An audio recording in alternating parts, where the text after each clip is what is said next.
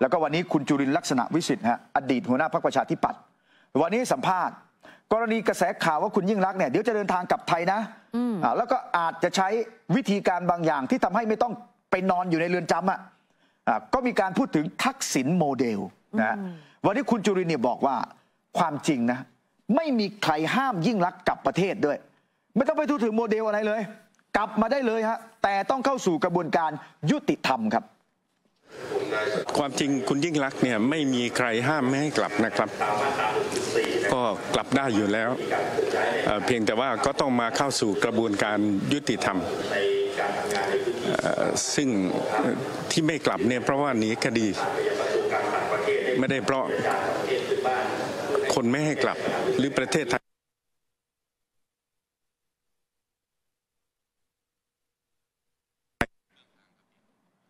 อ่าคือไม่มีใครไม่ให้กลับนะอยู่ที่ตัวนางสาวยิ่งรักว่าจะตัดสินใจอย่างไร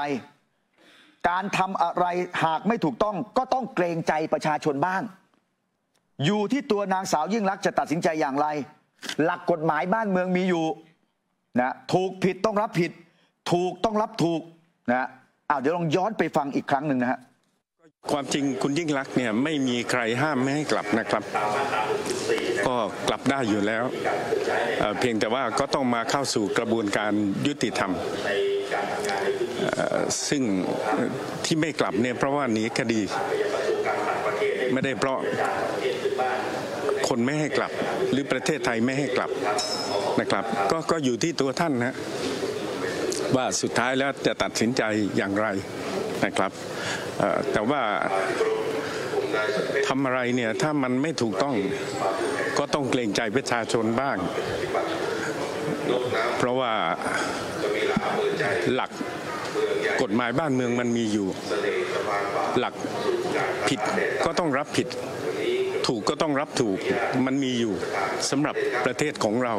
จะมาทำลายเหยียบย่ำมันทั้งหมดเนี่ยผมผมคิดว่าวันหนึ่ง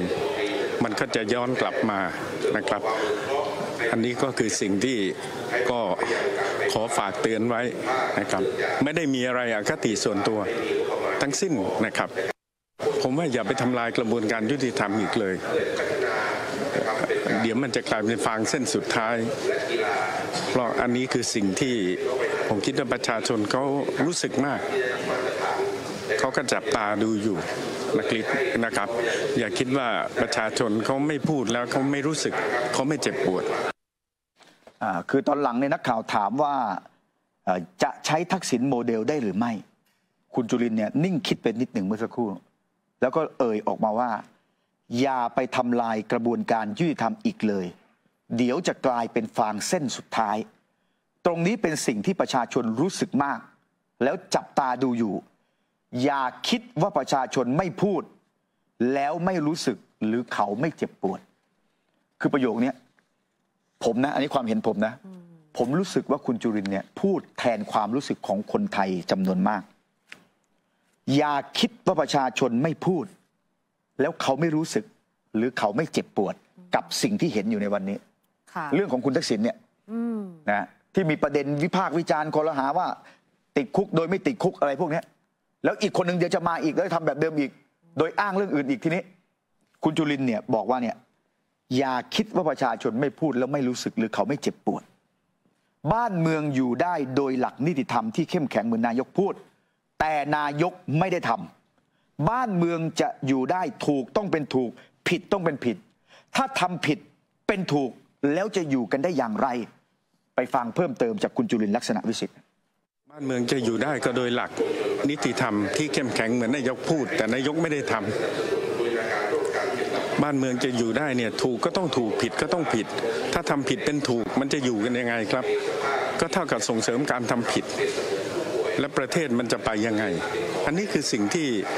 ต้องตระหนักต้องช่วยกันสร้าง คุณยิ่งรักเองก็ต้องช่วยสร้างด้วย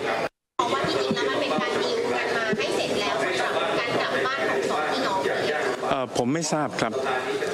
ผมมองปรากฏการณ์ทั้งหมดในฐานะประชาชนคนหนึ่งที่รักความยุติธรรม เช่นเดียวกับคนจำนวนไม่น้อยในประเทศไทย ผมเชื่อว่าเป็นอย่างนั้น อยากเห็นถูกเป็นถูก อยากเห็นผิดเป็นผิด เพราะว่าเราเคยออกกฎหมายล้างผิด และสุดท้ายบ้านเมืองเสียหายยับเยินมาแล้วตอนพระราชบัญญัตินิรโทษกรรมสุดซอย เราอย่าทำให้มันซ้ำรอยอีกนี่คือหัวใจสำคัญนะครับ หนี่คุณจุรินทร์ลักษณะวิสิทธิ์นะอดีตหัวหน้าพรรคประชาธิปัตย์ทีนี้ความเห็นผมนะถ้าย้อนกลับไปที่คุณภูมิธรรมพูดเมื่อวานเนี่ยค่ะที่บอกว่าคืนความยุติธรรมให้กับคุณยิ่งรักษณ์เนี่ยค่ะท่านผู้ชมจับตาดูวาทกรรมนี้ทีนี้คืนความยุติธรรมให้กับคุณยิ่งรักษณ์คุณยิ่งรักษณ์ท่านให้พิสูจน์หลายเรื่องท่านก็พิสูจน์แล้วก็ยกคำร้องไปแล้วนะคดีก็จบลงแล้วเรื่องแพ่งนะอ่าแล้วก็เรื่องค่าเยียวยาอ่าคนเสื้อแดง7จ็ดล้านห้า ก็ยกคำร้องไปแล้วนะแล้วก็ท่านก็ผิดฐานละเว้นการปฏิบัติหน้าที่ 157 ไม่ได้ทุจริต อันนั้นคุณภูมิธรรมพูดเมื่อวาน แล้วก็บอกว่าเนี่ยต้องคืนความยุติธรรมให้กับคุณยิ่งรักษณ์บ้างค่ะความเห็นผมนะคำว่าคืนความยุติธรรมให้คุณยิ่งรักษณ์เนี่ยมันคือวาทกรรม ที่กำลังจะใช้เป็นกุญแจ ให้คุณยิ่งรักษณ์กลับประเทศโดยไม่ต้องติดคุก ซึ่งเป็นสิ่งที่ไม่ถูกต้องตามข้อเท็จจริงครับคุณยิ่งรักษณ์ถูกดำเนินคดีเนี่ยเป็นไปตามกระบวนการยุติธรรม ค่ะคดีจำนำข้าว ไม่คืนความยุติธรรมให้คุณบุญทรงบ้างเหรออืมยังอยู่ในคุกนะคะ แล้วคุณยิ่งรักษณ์สู้คดีจำนำข้าวเนี่ยทั้งข้อเท็จจริงและข้อกฎหมายนะ ใช่ สู้เต็มที่เลยนะ ฟ้องร้องแม้กระทั่งอายการสูงสุดที่สั่งฟ้องอะ แล้วสุดท้ายศาลก็ตัดสินแล้วว่าอายการคือทำหน้าที่ของท่านอืมแล้วพอกระทั่งศาลตัดสินออกมาแล้วว่า ละเว้นการปฏิบัติหน้าที่โดยทุจริต ความเสียหายในโครงการจำนำข้าวมันจึงมากกว่าที่ควรจะเป็น ถึงวันนี้รัฐบาลยังต้องแบกภาระ เอาเงินภาษีของประชาชน ไปทยอยใช้หนี้คืนทกสอยู่ ปีละสามหมื่นล้านสี่หมื่นล้าน คืนความยุติธรรมให้ยิ่งรักษณ์คืนความเสียหายจำนำข้าวให้ประเทศไทยบ้างได้ไหมคืนได้ไหมครับ แล้ววาทกรรมที่บอกว่าตอนนี้คดีต่างๆ จบหมดแล้ว มันยังไม่หมดนะครับอืมคดีย้ายถวินเปลี่ยนสีเอื้อญาติยังไม่ถึงที่สุดค่ะคดีจัดจ้างรถโชว์ เพิ่งจะตัดสินไปยังไม่ถึงที่สุด รอดูว่าเขาจะอุทธรณ์กันหรือเปล่าสักนิดนึงสิอืมแล้วยังไม่นับคดีที่ศาลตัดสินไปแล้ว157เนี่ยห้าปีคุกค่ะแล้วก็ค่าเสียหายจำนำข้าวที่คุณเอ่อท่านรองนายกนะคุณภูมิธรรม คุณภูมิธรรมเนี่ยบอกว่า บ้านก็ถูกยึดไปแล้วจะทำยังไง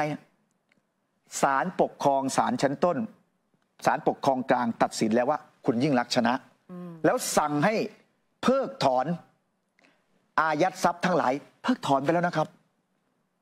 แต่คดีนี้ยังไม่จบด้วยซ้ำเพราะยังรอศาลปกครองสูงสุดอยู่ ความเสียหายจำนำข้าว อันนี้เรื่องทางแพ่งนะค่ะคณะอนุปิดบัญชีกันยา 57 ชี้ว่าเสียหาย 536,000 ล้าน ตั้งแต่ปี 57 นะค่ะ แล้วหลังจากนั้นก็มาคำนวณว่าเอาถ้าเป็นคิดค่าเสียหายจากโครงการปี 55ทับ56 56 57 แสนเจ็ดหมื่นแปดพันล้านนะถ้าดูตามตารางแอด6นะฮะ ค่าเสียหายโครงการปี 556 กับ 5657แสนเจ็ดหมื่นหกพันล้าน เขาเรียกจากคุณยิ่งรักษณ์20เปอร์เซ็นต์คือ35,000ล้าน ในฐานะผู้กำหนดนโยบาย แล้วไม่ระงับยับยั้งความเสียหายจำนำข้าว แล้วความเสียหายมันบานปลายค่ะแต่คุณยิ่งรักษณ์ก็สู้คดี แล้วในที่สุดชนะในชั้นศาลปกครองกลาง แต่ยังรอศาลปกครองสูงสุดไงอ๋อเพราะฉะนั้นที่บอกว่าคดีทั้งหมดจบแล้วเนี่ย มันไม่จริงนะครับ ยังไม่จบนะคะ แล้วถ้าบอกว่าจะคืนความเป็นธรรมผมถามกลับทำไมไม่คืนความเป็นธรรมให้กลุ่มอื่น นอกจากพี่น้องคนเสื้อแดง ที่ถือว่าท่านได้รับความเป็นธรรมก็คือ ช่วยเหลือเยียวยาไปแล้วเจ็ดล้านห้าน่ะค่ะ กลุ่มอื่นยังไม่มีใครใครได้เลยนะครับอืมคนที่ตายในช่วงกบพศชุมนุมเนี่ยหลายสิบคนไม่ได้นะครับเจ็ดล้านห้าอืมถ้าท่านเป็นรัฐบาลแล้วท่านทำเรื่องนี้สิ จะปราศจากข้อคอรหาเลย เพราะถือว่าไม่ใช่ผู้สนับสนุนพรรคท่านไง แล้วท่านยังมีหัวใจที่เป็นธรรมช่วยเหลือคนปปสที่เสียชีวิตค่ะเพราะเสื้อแดงได้แล้วไงใช่ไม่มีใครไปคอรหาท่านได้เลยอืมท่านคิดจะทำบ้างไหมครับ นอกจากคืนความยุติธรรมให้ยิ่งรักษณ์ซึ่งมันไม่ใช่เรื่องความอายุติธรรม คุณยิ่งรักษณ์สู้คดีจนไม่สู้สู้ยังไง จนศาลจะตัดสินแล้วค่อยหนีนะเพราะฉะนั้นต้องว่ากันตามข้อเท็จจริงและตามเนื้อผ้านะอันนี้คือประเด็นเรื่องการเมืองค่ะ มาร่วมสนับสนุนท็อปนิวส์นำเสนอความจริงได้แล้ววันนี้ เพียงกดปุ่ม Super Thanks แล้วเลือกจำนวนเงินตามที่ต้องการได้เลยครับ ขอบคุณครับ